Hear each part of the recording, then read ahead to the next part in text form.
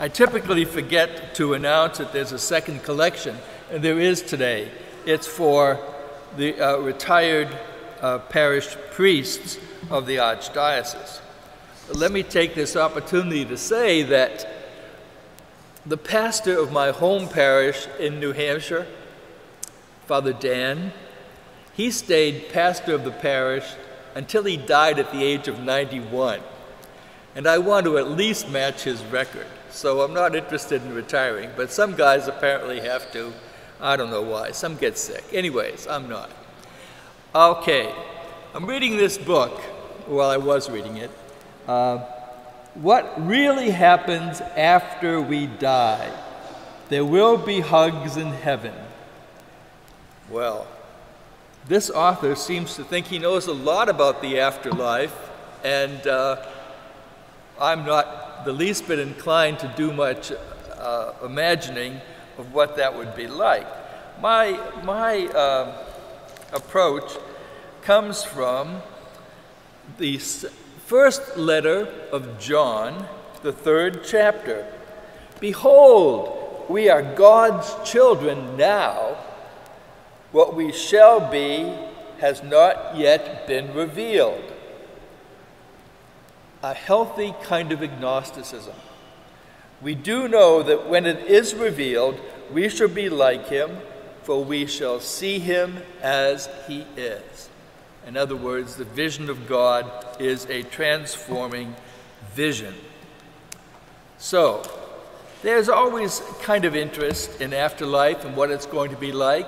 And in today's gospel, that subject is raised by the Sadducees, one of the political parties in ancient Israel, who do not believe in the resurrection, do not believe in an afterlife, accepted only the first five books of the, the Old Testament Genesis, Exodus, Leviticus, Deuteronomy, and Numbers.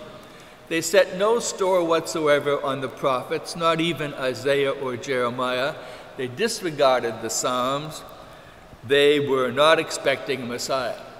So when they come up to Jesus with this question, they're not really asking to have an answer. They are trying to reduce him to ridicule. And so they come up with this nutty story about one woman marrying seven men. No doubt she died. She must have been exhausted. Anyways, they present this question to Jesus. And Jesus doesn't get upset. He knows that they're ridiculing him, they're kind of messing with him. So he goes to the scriptures that they accept, which is uh, the book of Exodus. And that's where God says, I am the God of your father, he continued, the God of Abraham, the God of Isaac, and the God of Jacob. And Jesus says, He's not the God of corpses, He's the God of the living. They are still living in the sight of God, in the heart of God, because love doesn't end. God loves us, He's, he's precious in our sight, and so that love doesn't end. And we know that ourselves. My father died when I was a teenager. I still pray for him. I love the man. I will always love him. And it's true in your own family. You lose people, you don't stop loving them. God loves us in life. That does not stop. One of my favorite scriptures is from Romans, the fifth chapter, the fifth verse. The love of God has been poured into our hearts by the Holy Spirit that has been given to us. So, as I've often said, keep repeating myself in a quiet moment, you realize something that's kind of extraordinary about yourself, despite your faults, despite your failings, despite mistakes you've made. In your soul, you love God. You know that about yourself. And that's what St. Paul is talking about. He's not talking about something in heaven, he's talking about your life now.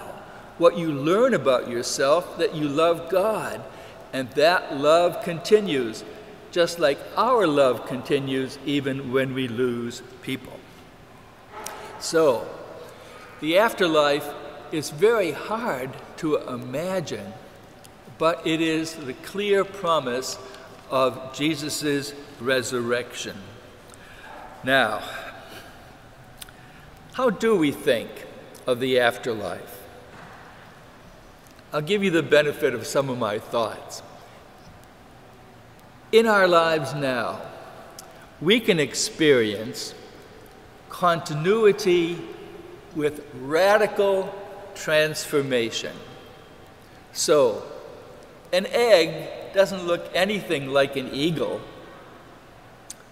A butterfly doesn't look anything like a caterpillar. An acorn doesn't look anything like a giant oak. A small brown bulb doesn't look anything like the beautiful daffodil. So, what we see is radical transformation with real continuity. And that's what I believe about eternal life. Do we know what we're going to look like? No, we don't. Is it worth speculating? Why? We only know that we will be with God and we will be like Him. And that's something important for us to know. Now, there's a beautiful psalm passage. But we need to realize that the idea of an afterlife emerged kind of late in Israel, 200 years before the birth of Christ. Before then, there were just only the barest hints.